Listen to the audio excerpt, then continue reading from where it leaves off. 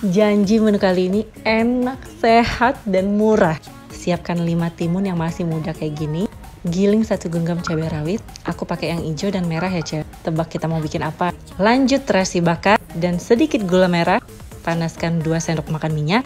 Kemudian iris-iris satu buah bawang merah besar. Lalu siram dengan minyak panas. Next, geprek 5 buah timun yang sedang kayak gini ya, Cek. Biar airnya keluar dikit, Cek. Ini timunnya garing banget. Kalau di sini namanya timun sawah. Lanjut gunting-gunting tahu goreng ya, Ce. Beli aja tahu yang untuk bikin tahu bunting atau gehu.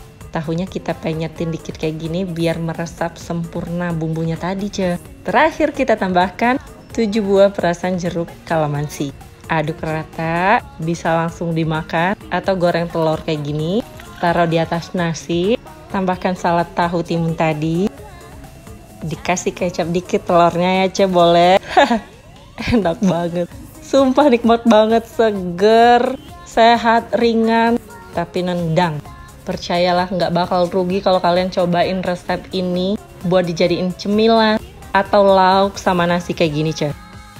Bahkan aku seneng banget kalau kalian ada yang jual pakai gerobak dengan harga 5 atau 10 ribu satu porsi di pinggir jalan ya, Cek. Duh, Masya Allah. Semoga berkah untuk kita semua ya, Cek. Kalau video ini bermanfaat, jangan lupa di-share ke teman-teman